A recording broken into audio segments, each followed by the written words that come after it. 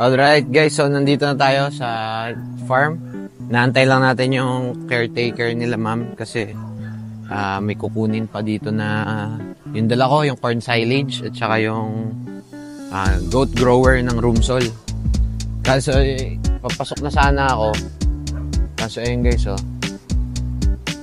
Ang daming aso. Nahabol na nila ako. Kaya antayin lang natin si kuya.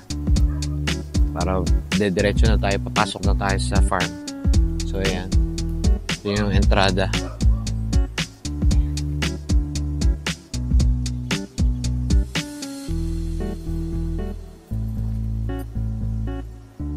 Mas maganda po ito, sir.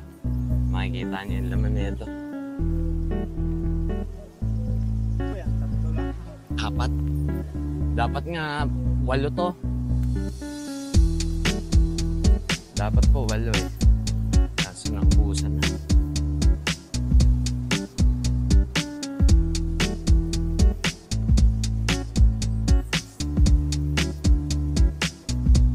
Ayan guys, dala na natin yung corn silage kila sa kila sir sa dito sa JJGA Eggs and Dairy Goat Farm.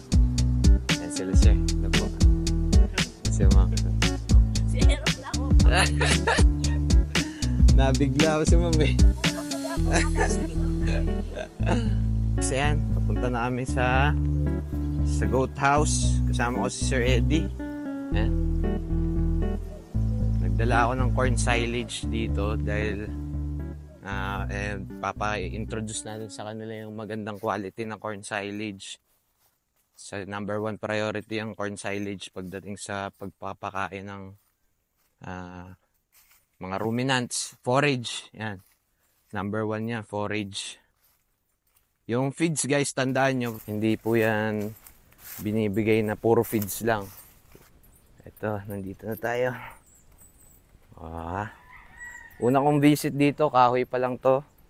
So guys, ah, tayo ay magtuturok ngayon ng ah, vitamin A, D, E at saka B complex. So, check rin natin yung FAMACHA score na FAMACHA test nila.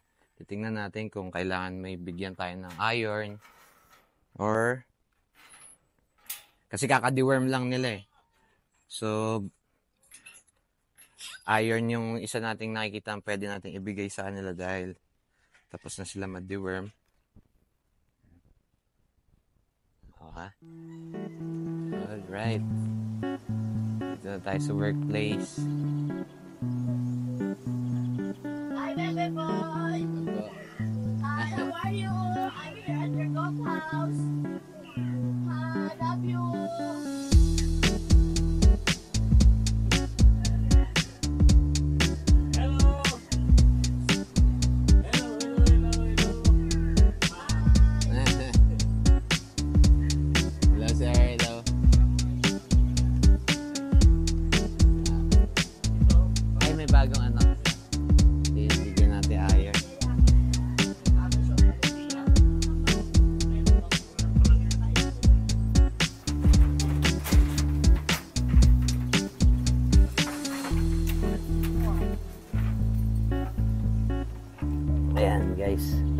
Itong isa na to ay bibigyan natin ng iron.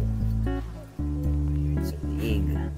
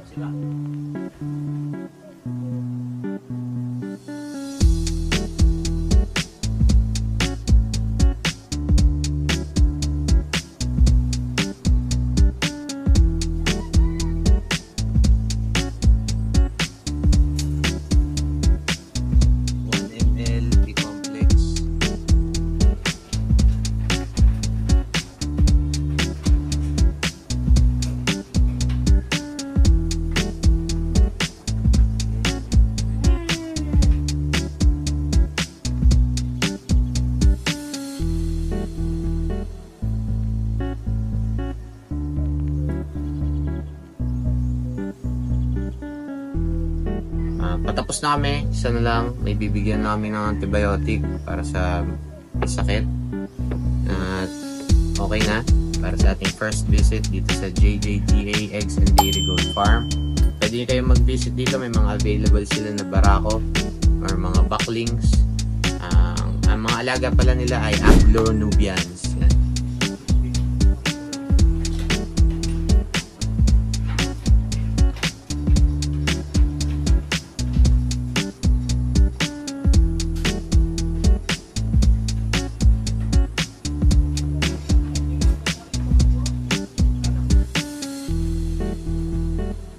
Hi guys, so tapos na ang ating first visit sa JJGA Eggs and Dairy Goat Farm.